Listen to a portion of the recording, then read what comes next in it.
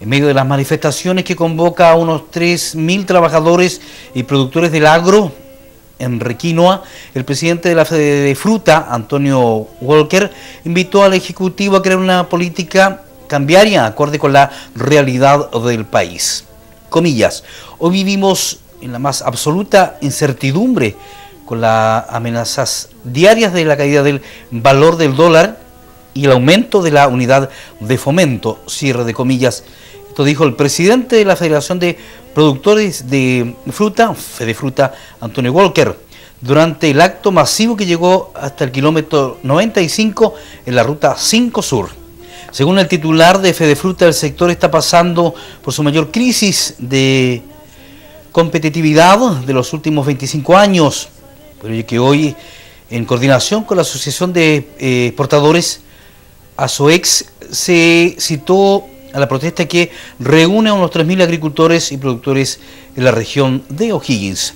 Walker pidió al gobierno incluir a la agricultura, comillas, como un octavo de comillas, de su administración y a dejar de lado las indiferencias hacia el sector.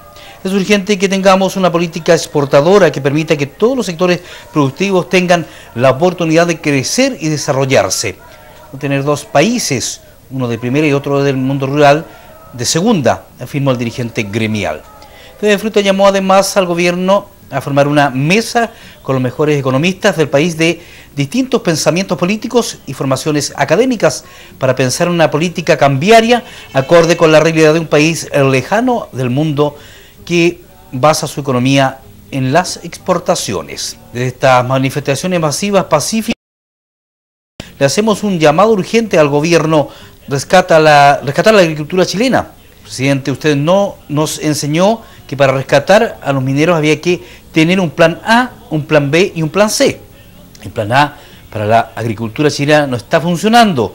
Lo invitamos eh, junto, juntos entre gobierno y oposición, entre agricultores y trabajadores, encontremos el plan B o el plan C que permita rescatar la agricultura chilena, enfatizó el dirigente.